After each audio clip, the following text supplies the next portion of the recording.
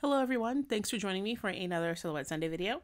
In today's video, I do not have any project to share with you or any step-by-step -step steps, I guess you could say, for Silhouette Studio, but instead, I'm going to show you how to revert back to the previous version of Silhouette Studio. Silhouette America recently announced that Silhouette Studio 4 was going to be the de facto current version, and I know a lot of people have upgraded and they do not like it. So if you are one of those people that has upgraded and you're not comfortable, or you would like to go back to the old version of the software, I'm going to go ahead and show you how to do that. So the first thing you'll need to do is go to the Silhouette America website, and you can see it here at the top, silhouetteamerica.com. And I know your natural thought process is to click right here where it says update software, but that's actually not correct. If you click on update software, it's going to take you to the most recent version of all of the various Silhouette products um, software versions. And you can see that if you are here, the current version is 4.0.623. So we're going to go ahead and click back. And if you go down to the bottom of the page, and this seems kind of counterintuitive, but this is where you need to go.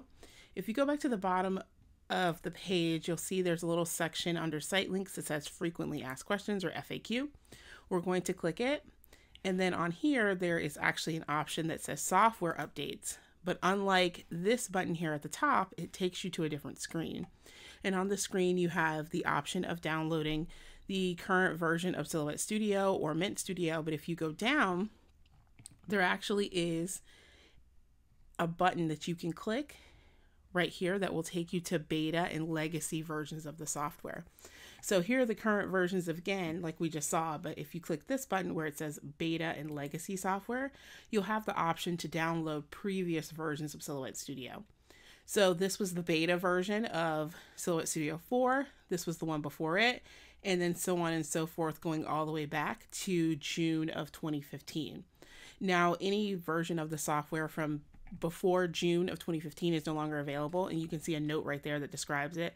Basically, there was a security issue. So all of those versions are now gone because there was a patch installed after that date.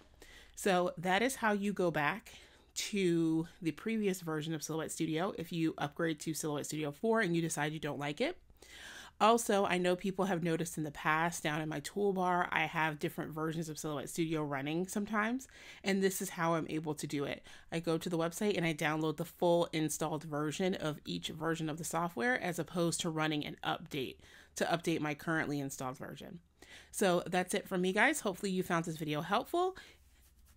If you have any questions, you can leave them for me in the comment section down below. And as always, thanks for watching.